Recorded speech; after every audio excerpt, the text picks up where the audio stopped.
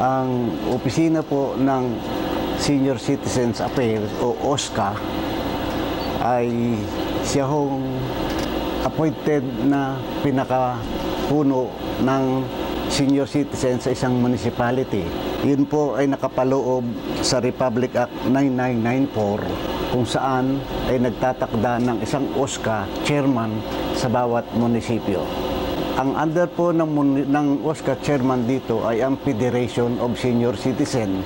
Yun po ay samahan ng lahat ng senior citizen kung saan ay meron silang pamunuan o elected officials among themselves. Ang opisina po ng OSCA ay nasa opisina rin ng Federation ng Senior Citizen dito sa ating bayan.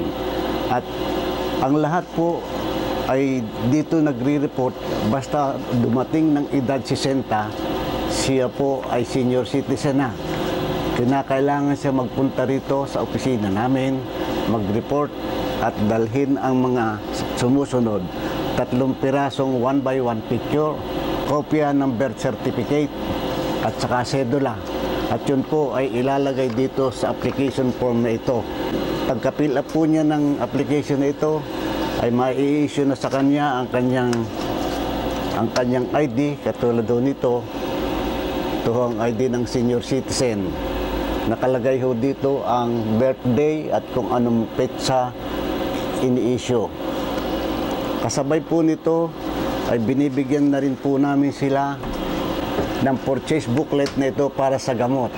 Ito ho naman ay kanilang dadalhin sa butika kasama ng reseta ng doktor at saka ang kanyang ID upang makabili. 20% po ang discount sa mga butikang ito. Karamihan po sa mga butika, lalo na po kung maliit na butika, ay hindi ho nagbibigay ng 20%. Kaya ho sigurado sa mga malalaking butika, lalo na yung mga may prangkisa tulad ng Mercury, Generic, at saka iba pang malalaking butika. Kailangan ho ay dala ito papunta doon kasamang ID. Kung hindi po naman pwedeng makapunta ang may sakit, kung may sakit ang matanda, kinakailangan nung magbibigay siya ng pahintulot kung sino man ang kanyang ah, bibigyan ng pahintulot para ibili siya ng gamot. Pero kasama rin ho ito, kasama yung pahintulot na kanyang gagawin.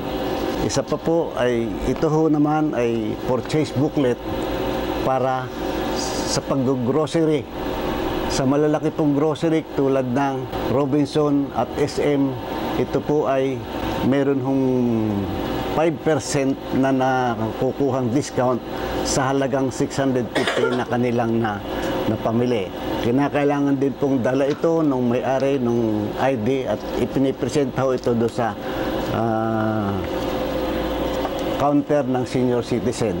Lahat hong mga establishmento, maging bangko, maging ah, malalaking grocery, ay lagi hong mayroong ah, special lane para sa PWD at saka senior citizen. Kayo po ay kaagad doon pipila para kayo maasikaso kaagad. Ano po? Isa pa pong bagong batas, ito hong batas ng PhilHealth na Republic Act 10654 na nagtatakda na lahat pong senior citizen ay kasapi na ng ng PhilHealth at libre na ho kung ano man ang kailangan sa PhilHealth. Di kinakailangan ho sila ay mag-enroll at naririto rin po sa amin ang enrollment sheet. Ito po ang enrollment sheet ng PhilHealth. Ano ho?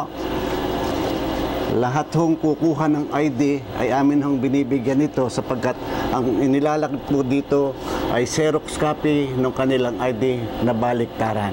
Pipilapan ho nila ito at dito rin po isusubmit. Katulad ho nito, a complete ah, form, ang nakalakip po ay yung kanyang ID na baliktaran. At ito po ay sa amin, sa akin din binibigay upang dalhin sa PhilHealth.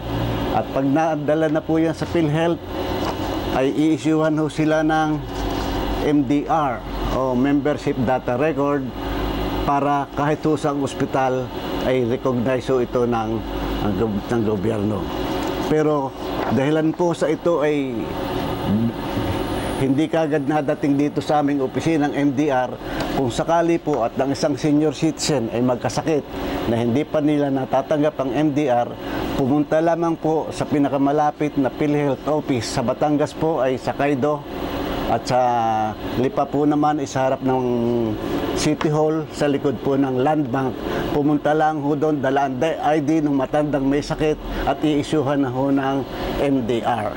Sa pagtubos po ninyo ng inyong ID, ay may sasabihin sa inyo ng aming sekretarya, sekretarya dito na dito ho ay mayroong isang maliit na tinatawag naming para hong maliit na insurance na ito ho ang mutual assistance system.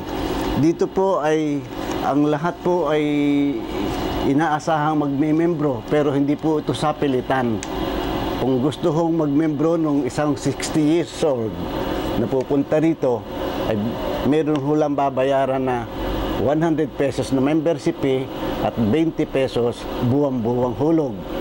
Sa loob ng limang taon, nakapaghulog siya ng 1,200 ay meron na po siyang karapatang humingi ng medical assistance. Siya po i-issuehan namin ng cheque, 2,000. Basta i-report lang ho namin dahil sa opisina ang ang pinagkagastusan sa ospital at saka medical certificate, agad ho mabibigyan siya ng 2,000 assistance.